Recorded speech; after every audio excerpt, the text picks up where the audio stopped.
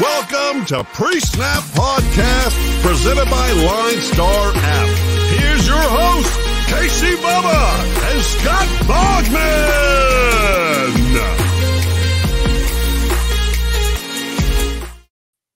And welcome back, everybody, to another episode of the Pre-Snap Podcast, brought to you by the wonderful people at LineStar Sports. Make sure you check them out on Twitter at LineStar App and at LineStar NFL. And most importantly, download the app in the Apple App Store and the Google Play Store. Everything you need in the palm of your hand to build your winning DFS lineup's got a big UFC card this weekend, big one. Francis Ngannou, heavyweight title. Get the app, help you build your lineups. Check it all out. But we are here. I um I led you astray on the recap show. We are not going with a new format. We're going with the old format. So this will be your betting show that you're going to obviously be listening to on Thursday. And then on uh, Friday, we'll be coming out with your DFS show for the four game divisional round action. So we'll get you all broken down there. You can find me on Twitter at BDentric and my co-host, as always, on Twitter at Bogman Sports. Scott Bogman, how we doing, man? I'm doing pretty good. I mean, you know, you look forward to these four games this weekend, and they're all tough calls. So um, this is what we get. The, these are probably the the best eight teams in the NFL at this point. So um, it just fits. All you know, the last round we kind of had some blowouts. You know, New England, Pittsburgh, Philly. You know, these are all kind of borderline playoff teams. If you would replace them with the teams that were right behind them, I don't know that there have been much of a difference. Does Indy go on and beat Kansas City? I doubt it. You know, um, do your Dolphins go in and upset anybody? Maybe, probably not, though. So, you know, we're getting down to the nitty gritty, and these games are going to be very, very competitive, and they all look to be pretty close. So, biggest line of the week is six, and um, it's going to be very, very interesting in this uh, slate here. Yeah, very, very close, close game. Should be fun. Um, last week, you know, you said most of the favorites won, and the over unders. If you faded the public on the over unders, you did very well. That's pretty much the only difference in in the scenario of the week. But like you said, four games this week. Let's not wait around much longer. We have Cincinnati at Tennessee. So obviously Tennessee off a bye, get Derrick Henry back in this game. They're minus three and a half point home favorites, over under 47. Can the Bengals make it two wins in the last 31 years? They absolutely can. And uh, I think when you look and see what they did against uh, the Raiders, who are the Raiders are an underrated team. Um, just fired Mike Mayock, by the way. We'll talk about that probably on Sports Grid. But um, th- this um, this Bengals team is clicking. They're on all cylinders right now. Uh, I would say, you know, all things neutral. You know, play this game out in, on Madden, and Tennessee probably wins, right? Because you have AJ Brown back healthy, Derrick uh, Henry back healthy. You know, he was in practice, taking contact, looked to be fine. So you get all of the big pieces back for Tennessee. So there's going to be no excuses. But the one thing that I would say is yes, you have all those weapons back, but are they all going to click first go out? You know, I'm not sure. This is a home game for them, which gives them a distinct advantage in this game. You don't have to go to Cincinnati and play in the jungle, which is good for Tennessee. I just can't bet against these Bengals right now. They are uh, very, very efficient, you know, and it's all going to be about can they stop Derrick Henry? And I, don't know if they can, but is Derrick Henry 100%? I don't know that either. You know, because Derrick Henry at 75% is better than most running backs in the league, but he now becomes a stoppable guy. You know, Derrick Henry at 100%, he's real hard to stop. So, uh, we saw them go into Baltimore and, and, beat up the, the Ravens a couple years back. Remember, because they just gave the ball to Derrick Henry a bunch of times. They can absolutely do that against Cincinnati. I'm going to have to take the Bengals here because I just don't I don't know how the Tennessee Titans are going to click. Even though they're at home, I would bet money line on Cincinnati. Oh, I hate saying this. I would bet mo- uh, the money line on Cincinnati in this game. I just think they're the better team right now, and I got them going to the AFC Championship as much as it sickens me. So, uh, give me the Bengals over these uh, Titans, and I will take the under in this game because uh, I do think it plays a little bit closer. Yeah, it's a very interesting game because we've seen it before, like in previous years, where there's two teams getting bye weeks. It always felt like at least one of those teams coming off a bye came out really sluggish, and the wild card team just smacked them in the mouth. Yeah.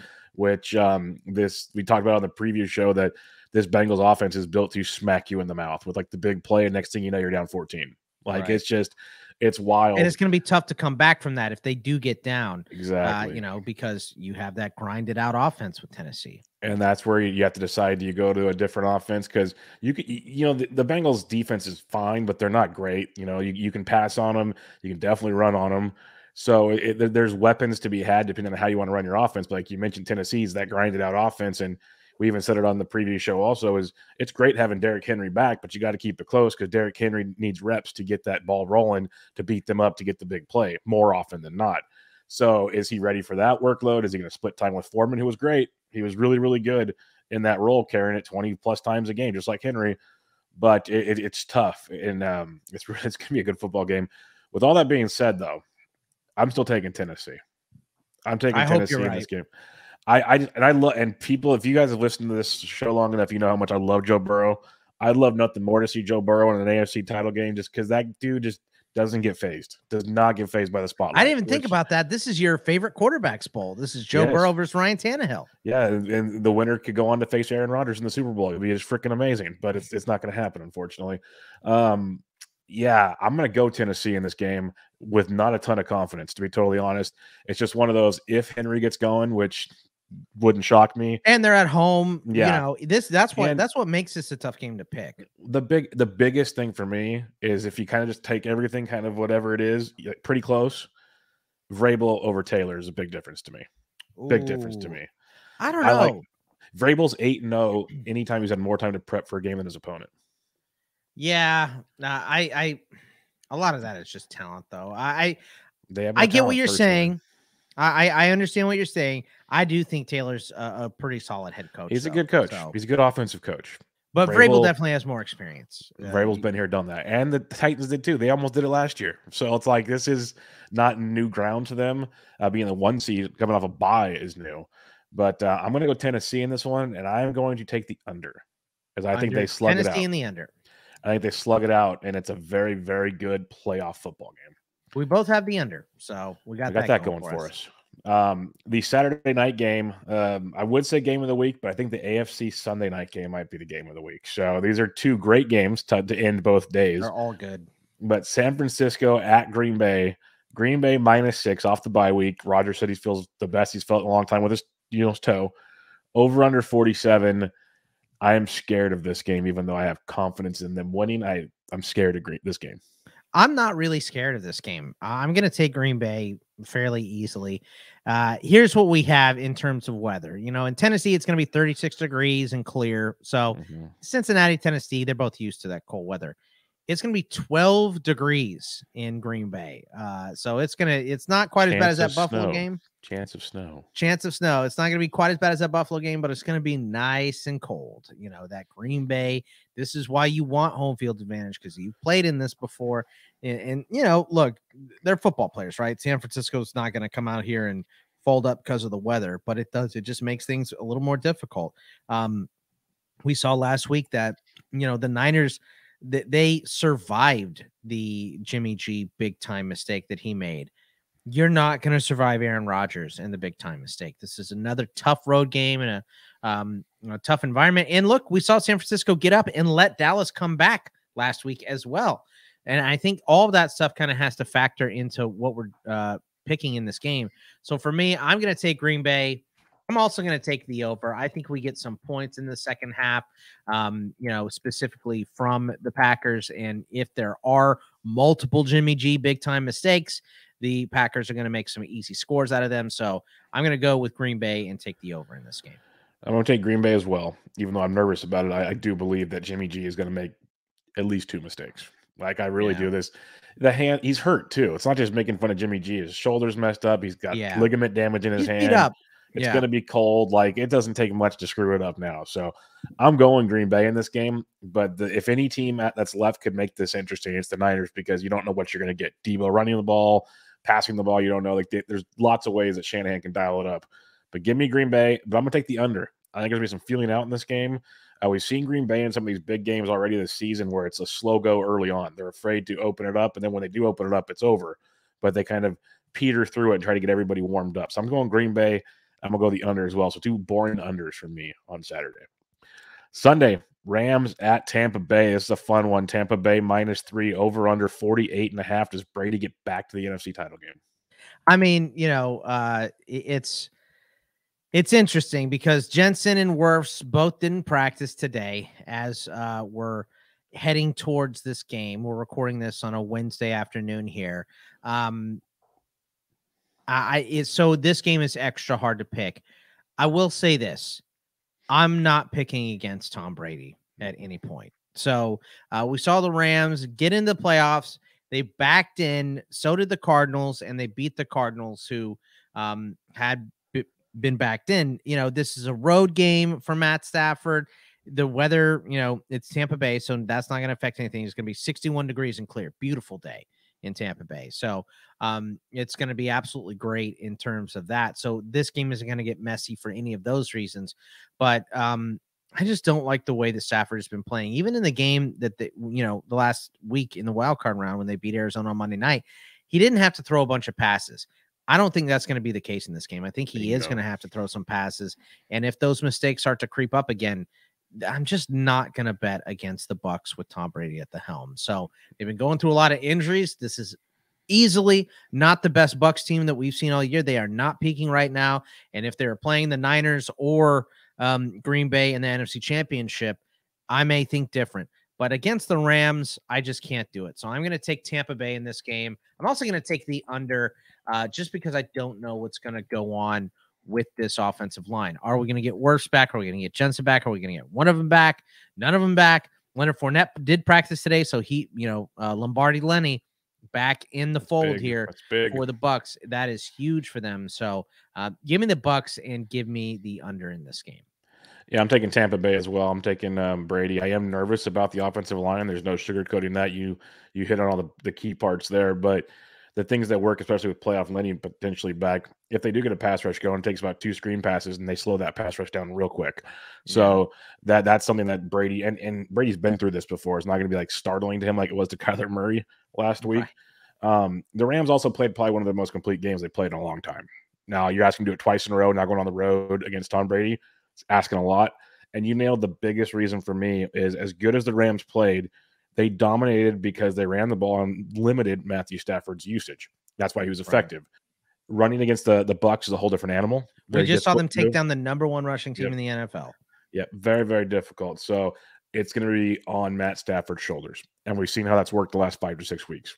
So yeah. I'm going to take my chances with this Bucks defense winning this game more so than the Bucks offense winning this game. I'll take Tampa Bay in the under with you on this one. I think Tampa Bay gets it done pretty easily. I'd be shocked. Like the Rams might have trouble scoring more than 14 points in this game. I, I think Tampa Bay kind of lays the wood to them, but we'll see.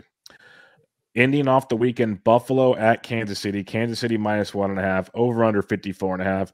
This is definitely get your popcorn ready, enjoy your Sunday evening. I am so ready for this game. This is going to be a great one. Um, I tell you what, though, um, you saw the shift last week in Patrick Mahomes and this Chiefs offense, I, and I that is really what I can't get over. Now, Buffalo was amazing, right? The eight straight possessions, you know, or seven straight possessions of all touchdowns for them against um, New England. They just looked unstoppable last week. They looked very, very good. So, um, they look great too. But Kansas City, there's just something different about Mahomes when he gets on one of these heaters, you know. Um, and he definitely did against Pittsburgh last week. And the things that they were doing, I mean, I even heard on my Steelers podcast they were saying, "Why would you even put that on film? You didn't need to do some of that stuff against uh, Pittsburgh to beat them. So maybe save that stuff for the next round." But I think they would just wanted to try some things just to see if they're going to click and work. So, um, I think for me, you got to go with the home squad here. Kansas City at home is going to be a tough place for any team to go on the road. Um, you know, Josh Allen uh, won a big playoff game last week. Uh, he he can add on to his legacy in Buffalo by going on the road and beating Kansas City. I just don't think it's going to happen though. Kansas City's defense stepped up and played really great. Um, you know, until like the end of the fourth quarter uh, for them as well when they were, you know, mainly rolling back out backups out there anyway. So for me, I'm going to stick with the Chiefs and go with a Chiefs Bengals um, AFC Championship. Uh, uh, you know, this time it would be in Kansas City, But um, you know, you can't count out the Bills. They've been doing great things here, but I just can't pick against Patrick Mahomes after I saw what he did. After that second quarter, that second quarter, they they just turned it all the way on and the floodgates open and everything was clicking for KC's offense. So give me the Chiefs and I'll go with the over. I think you're not going to be able to stop Josh Allen. So this game could come down to who makes the big mistakes. Now, Mahomes does have some turn turnover worthy mm-hmm. passes. And he had some, you know, we saw TJ Watt put his hand on pretty much everything. But once he started rolling and, and you know, creating his own lanes and stuff like that, that stuff is just impossible to stop. So give me Kansas City, give me the over. Yeah, this is going to be a fun one. The Bills should have no trouble moving the ball in Kansas City. Their defense is better than I think the stats rank out because a lot of the production's been in garbage time against that defense when it really hasn't mattered. But still, a defense that Josh Allen and company's going to move the football on. There's no sugarcoating that. It's just a matter of how can you, how well can you do it? How fast can you do it? Because they were just doing it ridiculously easy against New England. That won't happen against Kansas City, most likely, especially in Kansas City. I just don't see that one playing out that way. Flip side, the Bills defense is legit. Is very, very good. Number one so, rush defense in the NFL, Buffalo. So I'm curious to see how Mahomes and them attack. I'm not worried about it when you have like 17 weapons. Like even Byron Pringle has been a monster. You have ways to, to make it work. I'm going to take Kansas City in this game. Part of me wants Buffalo to win. I really do. But I'm, really thinking, surprised that the spread went down to one and a half. Yeah, I um, guess this is, this is impressive. Um, yeah, that, a lot of respect.